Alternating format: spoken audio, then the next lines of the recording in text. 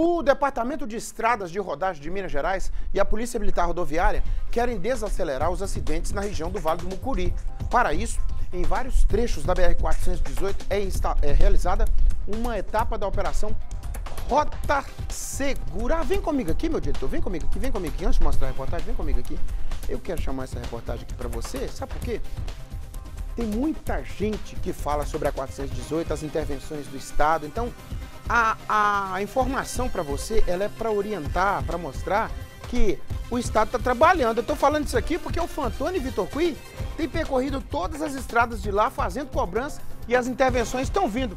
Mais uma na conta aí do Fantoni Vitor Cui. É, é, Operação Rota Segura Balança.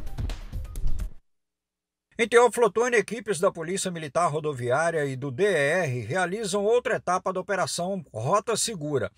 O foco, férias escolares, para quem viaja pela BR-418 à Bahia, ao Espírito Santo ou cidades do Vale do Mucuri. Os fiscalizados recebem orientações. Nós estamos em obras, o DR está com uma obra, então tem que ter bastante paciência, cuidado, percebendo aquelas placas de advertência com curva sinuosa, reduzir a velocidade. O militar diz que dar segurança aos usuários e combater crimes será a meta das equipes até final do mês. A Polícia Militar Rodoviária terá o foco uso de drogas e tráfico, apreensão de armas de fogo que estejam irregulares, foragidos da justiça, além de todo aquele suporte para a população. Além do turismo, as rodovias do Nordeste Mineiro são rotas para o transporte de carga.